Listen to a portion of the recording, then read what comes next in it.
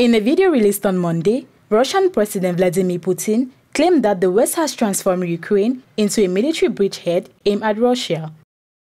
During his speech, marking the second anniversary of Russia's claim over the four Ukrainian regions, he accused the West of deceit and manipulation, stating that Ukraine has become a military outpost against Russia.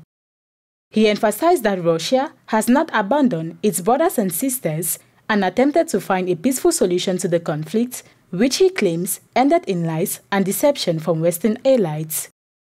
Putin stated, the truth is on our side, all set objectives will be achieved.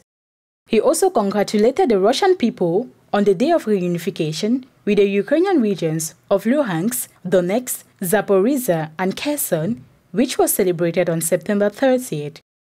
According to Putin, the military operation in Ukraine is a fateful event that was necessary to protect Russian speaking residents from a neo Nazi dictatorship and radical nationalism.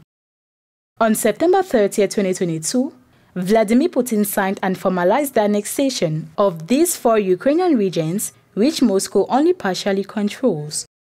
The annexation followed referendums that were recognized by Kiev or the international community.